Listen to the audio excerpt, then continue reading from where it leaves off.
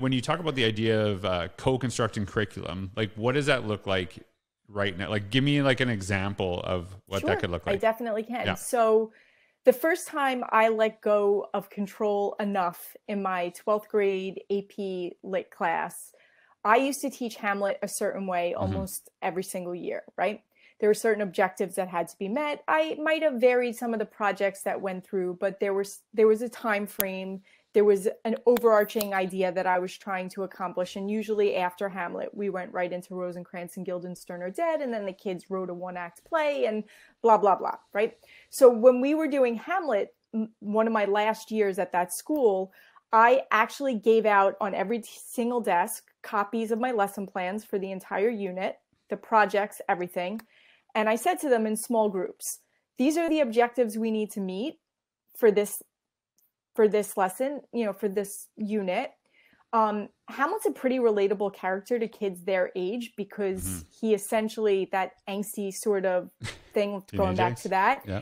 um, he is. He's like dark and brooding, and you know there are ways to connect with him. And so I said to them, "You have two choices in your group. You could come up with a project, or you could default to what we've done before, and then as a class, we'll vote to see which one we're going to do. Mhm. And then if we decide on one of the projects that the kids decided on." You'll come up at lunch one day and we'll eat together and we'll design the project together, timeline and all and you will help me construct success criteria. What is this going to look like? Benchmark ideas, blah.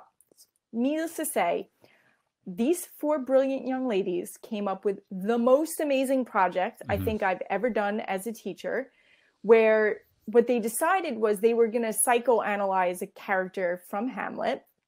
And the project was broken up into like five parts where they first had to mine the text to find out, you know, do good characterization of what Shakespeare said about this character, and then they had to do research on um, psychosis related to the characterization. And then they had to come up with a solution for the psychosis and create a movie.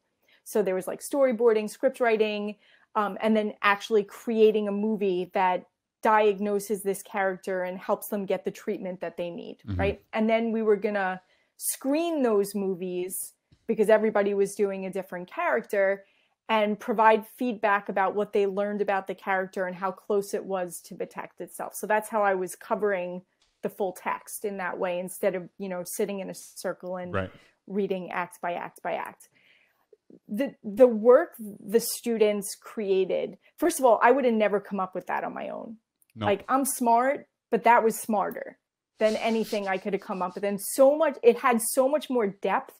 And that group of kids was really into psychology. So it was like this Right. nice overlap of what they were super interested in and also this really deep way of looking at the text. So I totally released control over it, and what they came up with was so much better than what I came up with. And bonus, they loved watching the movies Right. at the end. They had these crazy projects that they created and produced, essentially, all of them produced those movies, and we shared them, and it was amazing. So when I talk co construction, I'm like, legit, here's what we have.